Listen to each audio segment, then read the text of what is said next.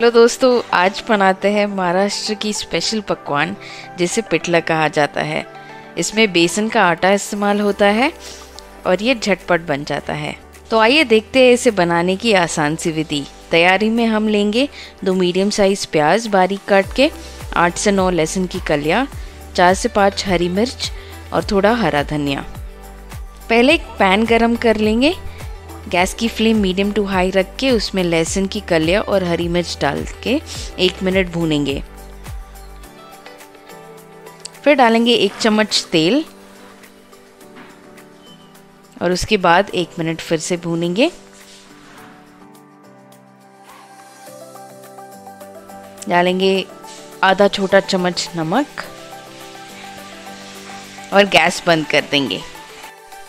फिर एक ग्लास की मदद से पैन पे ही हरी मिर्च और लहसुन को बारीक कर लेंगे। ऐसे बारीक होने पे प्लेट पे निकाल लें। फिर उसी पैन में सात से आठ चम्मच तेल डालेंगे। तेल गर्म होने पे जीरा डालेंगे। जीरा तड़कने पे डालेंगे बारीक कटे हुए प्याज। प्याज कुछ सेकंड्स भूने, फिर डालेंगे एक चौथाई चम्मच नमक। इसे प्याज जल्दी भूनते हैं। फिर प्याज थोड़ा लाइट ब्राउन होने पे जो हरी मिर्च और लहसुन हमने बारीक कर ली थी, वो डालें।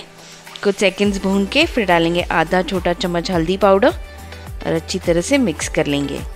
डालेंगे फिर हरा धनिया बारीक कटा हुआ। कुछ सेकंड्स भूनेंगे और डालेंगे दो से तीन चम्मच भुने हुए मूंगफली का पाउडर अच्छी तरह मिक्स कर लेंगे और फिर डालेंगे दो ग्लास पानी। पानी डालने पे गैस की फ्लेम हाई कर दे और एक उबाल आने दे। पानी में ऐसा उबाल आने पे फिर गैस की फ्लेम लो कर दे और हाथ में बेसन लेके इस तरह पानी में डालते जाए और चम्मच की मदद से लगातार चलाते जाए ताकि गुठलियाँ ना बने। लगभग दो से तीन मुट्ठी बेसन का आटा डालने पे इतना गाढ़ा हो जाए तो चम्मच की मदद से अच्छी तरह से मिला ले ताकि कोई गुठलियाँ ना रहे। फिर गैस की फ्लेम मीडियम टू हाई करके ढक दे। दो से तीन मिनट बाद खोले, आप देखोगे कि बेसन का रंग थोड़ा बदल गया है और साइड से तेल भी छूटने लग गया है। इसी समय एक से दो चम्मच घी डालें, अच्छी तरह से मिक्स कर लें और ढकते मीडियम फ्लेम पे दो मिनट रख दें और गैस की फ्लेम बंद कर दें। और लो, तैयार है महाराष्ट्र की स्पेशल डिश पिठला। इसे चुवार की रोटी के साथ खाया जाता है।